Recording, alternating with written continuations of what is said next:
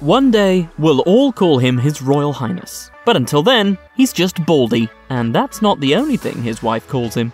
By all accounts, the Duke and Duchess of Cambridge are a pretty private couple and rarely reveal much about their private lives. In fact, it was recently reported that Kate has mastered the art of not complaining or explaining, much like the family's matriarch, Queen Elizabeth II, who is regarded as a master of Stoicism.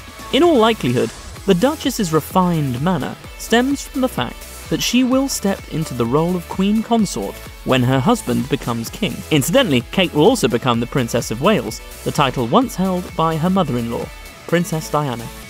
In keeping with their reserved nature, we rarely see the couple show any affection towards one another in public, which is why any PDA catches the attention of royal fans. Unfortunately, there are few and far between instances of the spouses touching one another in public. So when they do, eagle eyed fans are prone to getting overexcited. With all of this in mind, many people would be surprised if Kate had a nickname for her husband, Prince William, the future king, at all. But what she calls the Duke of Cambridge is probably one of the more shocking revelations about the royal family in recent memory. Of course, it's still unclear if Kate still uses this unexpected nickname for her husband. However, a 2019 report from The Sun suggested that when the Duke and Duchess were a few years younger, Kate would lovingly refer to William as Baldy.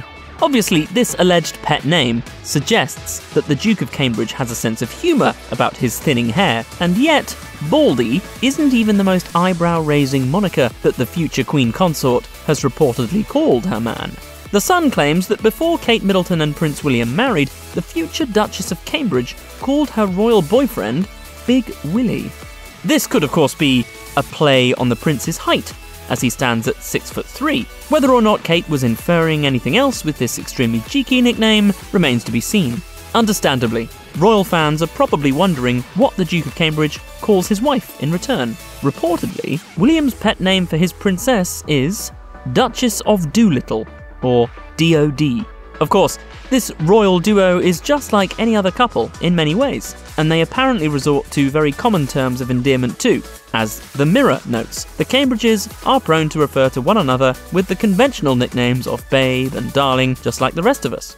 But I'll answer to most things, to be honest. Kate and William aren't the only royal couple that reportedly use unusual nicknames for one another. In fact, the sweet monikers of another royal duo also made the headlines. Meghan Markle and Prince Harry are known to be a bit more affectionate towards one another than Kate and William. From holding hands, hugging, and even kissing in public, the California based couple seems far more comfortable with PDA than their London based counterparts. That said, the couple's nicknames for one another are far less cheeky than that of William and Kate. During Prince Harry's appearance on The Late Late Show with James Corden in 2021, Meghan revealed that her pet name for her husband is simply Haz. Haz, how's your tour of LA going? Haz? I didn't know we were calling you Haz now. The Duke of Sussex has also revealed some of the nicknames he has for the Duchess of Sussex. During his appearance at the Invictus Games opening ceremony, Harry referred to Meghan with a very conventional expression.